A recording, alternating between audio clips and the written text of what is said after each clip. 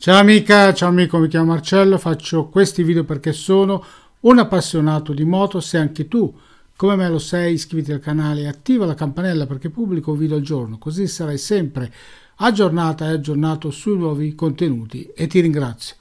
Oggi ti parlo di Honda CMX 1100 Rebel del 2024. La Honda Rebel è una moto di tipo bobber che prende quindi il nome dal parafango posteriore cosiddetto bobbed perché è accorciato, ma il telaio, contrario dei chopper, quindi nella tradizione che risale agli anni 50 di modificare le moto, quindi con la filosofia chopper che ha appunto il significato di tagliare il telaio e per allungare le forcelle, quindi sono caratterizzate queste moto da una forcella molto allungata e eh, con la ruota anteriore piccolina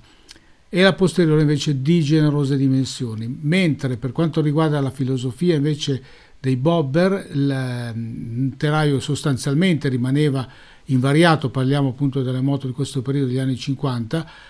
e poi si facevano altre modifiche come ad esempio era il fatto di aumentare la dimensione di entrambi i pneumatici, cioè di rendere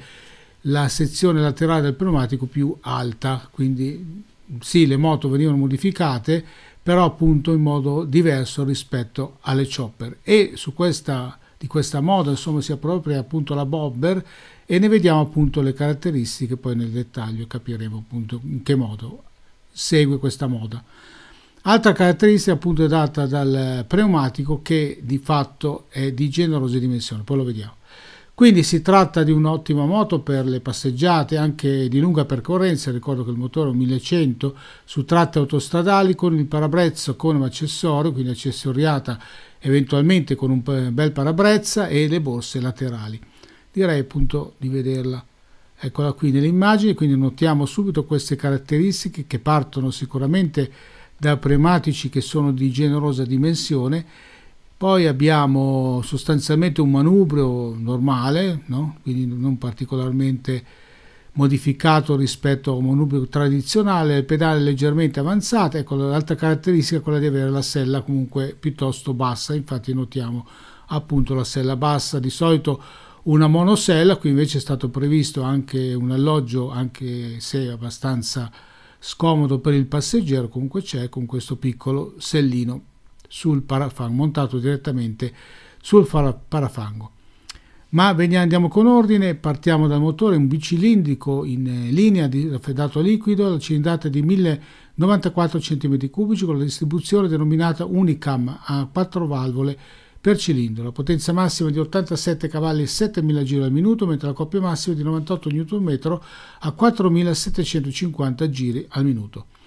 Il telaio è formato da un tubolare in acciaio con una struttura a diamante, mentre la sospensione anteriore è affidata a una forcella con gli stay da 43 mm regolabile nel precarico e al posteriore siamo in presenza di una coppia di ammortizzatori con il serbatoio separato e anch'essi regolabili nel precarico della molla. L'altezza della sella, abbiamo detto, piuttosto bassa è di soli 700 mm. Le ruote molto belli in alluminio presso fuso sono da 18 pollici all'anteriore e 16 pollici al posteriore. Il freno anteriore formato poi da un disco, vediamo qui meglio nell'immagine, eccolo qui, un disco flottante col diametro da 330 mm, quindi di generosissima dimensione, con la pinza d'attacco radiale quattro pistoncini, mentre al posteriore abbiamo sempre un disco col diametro da 256 mm e la pinza a singolo pistoncino. Il serbatoio ha una capacità di 13,6 litri, quindi abbastanza piccolo visto anche la cilindrata, ma d'altronde la forma appunto a goccia tipica di queste moto come delle, delle chopper lo, lo, impone, insomma impone anche per motivi estetici appunto sia la forma sia il fatto che sia contenuto il volume, il peso in ordine di marcia e con il pieno di benzina è di 233 kg. Se ti è piaciuto il video metti un like, se non ti è piaciuto metti dislike, ma iscriviti al canale e attiva la campanella per due motivi. Primo, gratis, non ti costa assolutamente nulla, ma contribuisce alla diffusione del canale. In secondo luogo faccio un video al giorno, quindi sarai sempre aggiornato aggiornato sui nuovi contenuti. Qui sotto i tuoi commenti sono sempre molto graditi. Ciao, grazie per l'attenzione e buona serata.